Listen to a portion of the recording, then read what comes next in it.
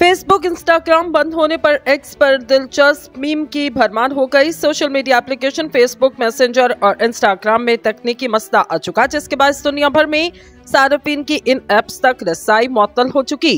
सार्फिन का कहना Facebook account खुद ब खुद लॉकआउट हुए और दोबारा पासवर्ड लगाने के बावजूद आईडीज बंद हो गई और पासकोड को गलत करार दिया।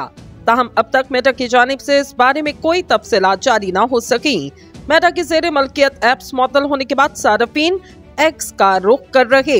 एक्स पर सार्फिन ने जहाँ अपने अकाउंट अचानक बंद होने पर परेशानी का इजहार किया, वहीं सार्फिन की जानब से दिलचस्प मीम की पोस्ट की जा रही। इस हवाले से सार्फिन की पोस्ट की गई चंद दिलचस्प पोस्ट यहाँ पेश की जा रही।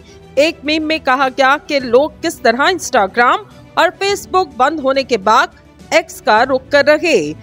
पाकिस्तान समेत दुनिया भर में मेटा सर्विस बंद हो चुके बरतानवी खबर इदारे, राउटर ने इंटरनेट और सोशल मीडिया की बंदिश को मॉनिटर करने वाले इदारे, डाउन डिटेक्टर के हवाले से बताया कि फेसबुक मैसेंजर और इंस्टाग्राम की सर्विसेज़ इस वक्त पूरी दुनिया में मअतल डाउन डिटेक्टर के मुताबिक सर्विस में तातुल का आगाज़ पाकिस्तानी वक्त के मुताबिक रात आठ बजे शुरू हुआ।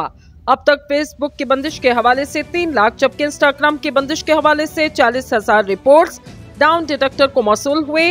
दूसरी जानब मेटा के तर्जमान, एंडी स्टोन का एक बयान में कहना था, हमें मालूम है कि सार्फिन को हमारी सर्विसेज़ तक रिसाई में मुश्किल का सामना और हम इस पर काम कर रहे डाउन डिटेक्टर के मुताबिक व्हाट्सएप की सर्विस के तातुल के हवाले से शिकायत आ रही।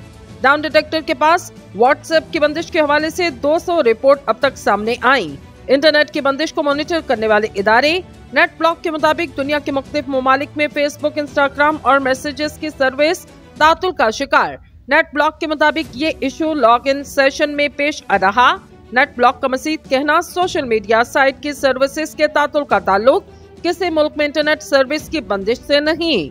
सार्फिन का कहना, इनका फेसबुक खुद ब खुद लॉकआउट हुआ और दोबारा रसाई की कोशिश पर पासवर्ड को गलत बताया जा रहा।